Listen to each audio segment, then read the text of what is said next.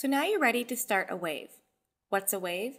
Well, a wave is basically a conversation between you and one or more people. It's also a collaboration tool and a document and media sharing tool. As an example, let's say I want to share a video with a friend. First, I'll click on New Wave. Now I can just start typing my message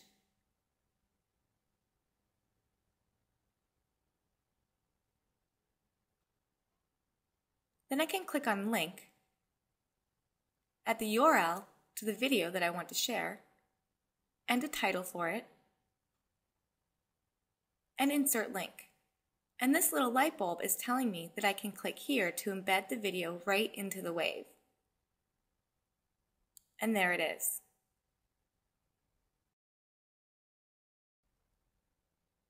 So now I can click on the plus sign and choose the people to add to the wave. Just click on them and they'll be added.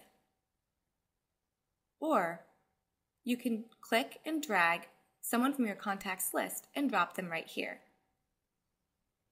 Right when you do this, you'll see in my Friends Wave account, my message has been sent before I even hit send. Here's mine and my friends.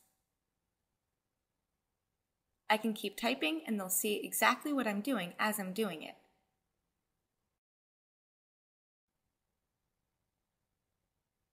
They can also see when I delete things. And I can invite another person, and they'll see the same.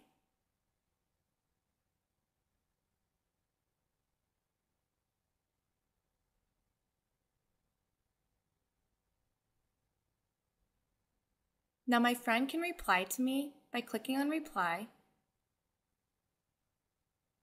And again, you can see what's going on in real time.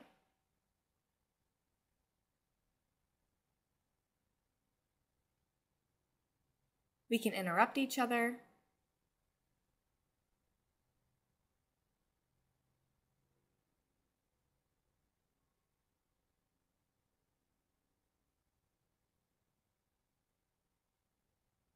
And even play back what's already taken place.